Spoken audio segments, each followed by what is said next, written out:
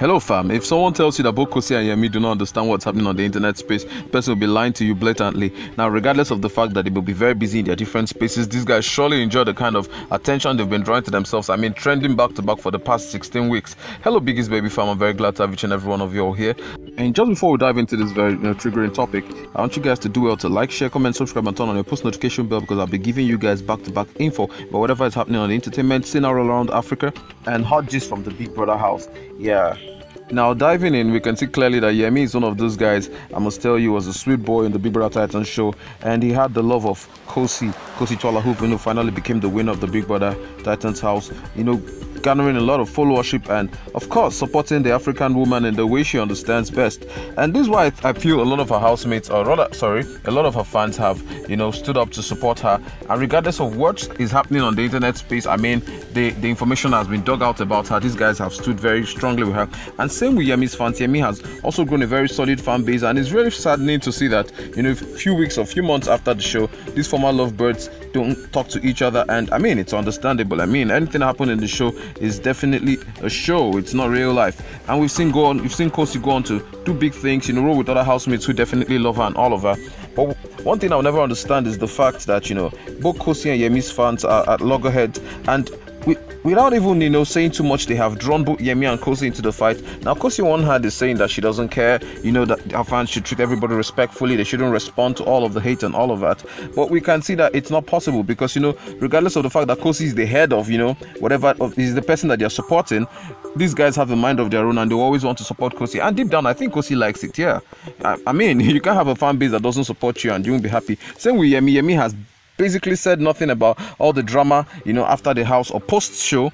But it's it's obvious that these guys are enjoying it. One thing I must tell you is that there is no such as negative energy. Now, see what one of their fans said. Khosi will never, you know, see a guy like Yemi again in her present life and even in the life after. Haha, this is very dramatic. Obviously, Yemi's fans still feel pain though. This is like the notion they're putting out there. Regardless of what Yemi is doing, these guys will always try to drag Khosi. Now, check out this. Is it lack of exposure? The hot that Khosi left on Cregx's fans can never be undone. This guy is not the standard. He is your it guy and not everyone's. He's an average looking person and that's it. Man, this is really dramatic, fam. Really very dramatic. I think it's expected. It always comes with that drama.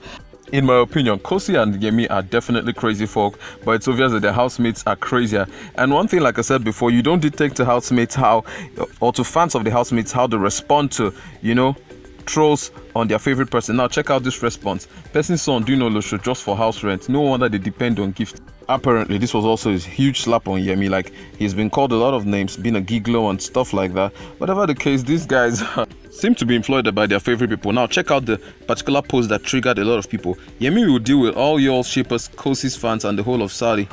By the time Yemi is done with South African girls, Biggie will have to come out and send him home personally.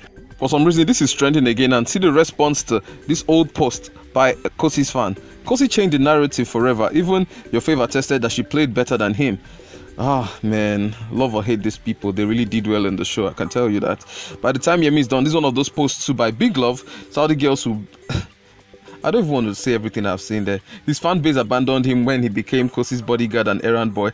Whatever the case is, it's obvious that Khosi won the show, but this bad blood between them is something I don't think that is ever going to end. Like it's a never-ending um, game here, and it's both favoring Khosi and favoring Yemi.